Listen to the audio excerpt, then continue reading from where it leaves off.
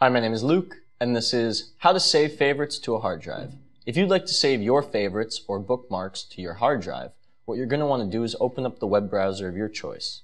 Mine's Google Chrome. Right click in the top right corner to go to Settings.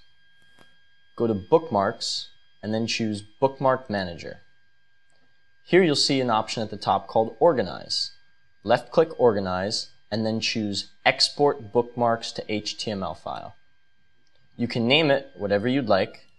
I'm going to call it My Faves, and save it to the location of your choice, like your desktop.